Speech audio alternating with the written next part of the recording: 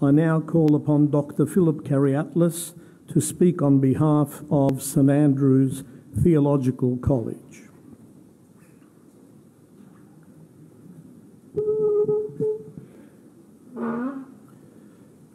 With profound sentiments of deep sadness, but at the same time of unfailing hope in the resurrection, we have gathered together here in this cathedral of the Annunciation of Our Lady to farewell from this life a preeminent church leader and distinguished hierarch of our ecumenical patriarchate.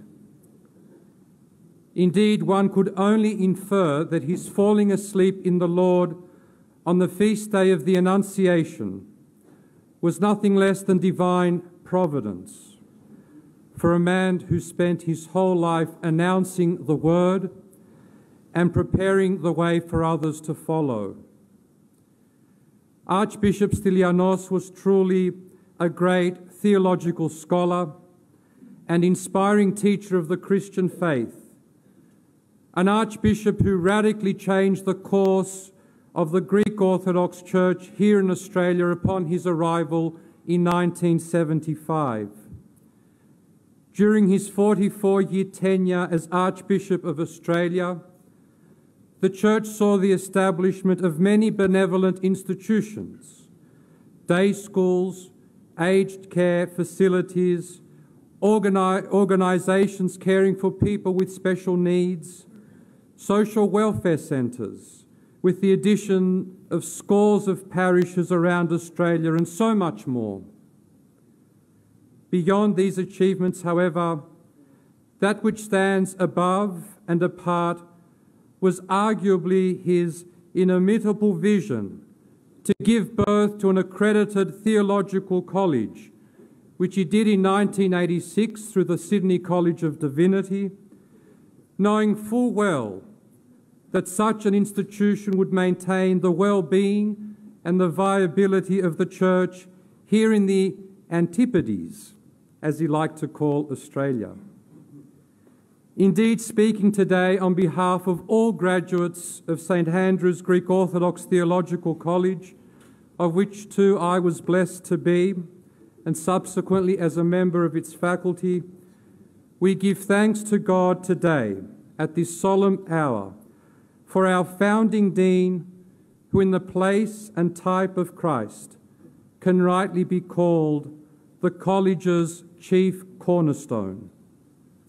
It will be incumbent upon all of us who serve in the Theological College to continue to strengthen these firm foundations that he inaugurated. In hearing his inspirational lectures and in reading his published works, his books, his articles, and vast poetic anthology, one quickly discerned not only a consummate scholar, but a man marked by a strikingly inclusive and comprehensive vision of the world, a man with a heart wide open ready to encounter and embrace the uniqueness of all that he beheld. This was most evident in his broad ecumenical openness, where he was always ready to learn, to receive, and be enriched by all those of goodwill whom he encountered from the different Christian denominations and other faiths more generally. He was the first appointed co chair in the official international theological dialogue between the Roman Catholic and Orthodox churches and a host of other bilateral and multilateral dialogues. His ecumenical acclaim was recognized by the Sydney College of Divinity, from which he received an honorary doctorate in 2001, indeed one of many, and which several years later acknowledged him as its first professor of theology. Over and above his academic achievements, he was a man who understood all things to have been created by God out of love and therefore as being sacred. Not only the human person, but even the slightest blade of grass and every living creature was for him nothing less than an epiphany of God. In class, we would often be reminded never to remain indifferent to anyone or anything. This loving predisposition to uncover the original beauty of creation is seen most distinctly in the Archbishop's poetry. What many of us might at first sight have considered mundane is precisely what is both valued and transfigured in his prodigious anthology.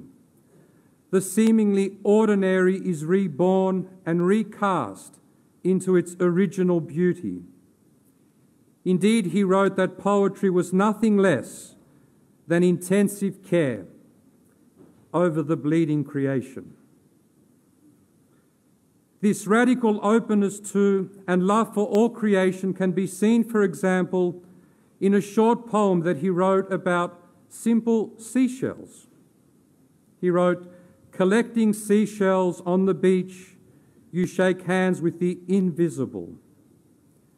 As creations of God, these too were able to remind the Archbishop and reveal to him the love and immediacy of God. Whilst one could speak at length of his eloquence, I leave you with but one example, which I believe can console and comfort us and comfort the loss that we are all experiencing. In a poem entitled Mother Forgive, His Eminence compares a person lying in a coffin to an infant secured in a cradle of worship.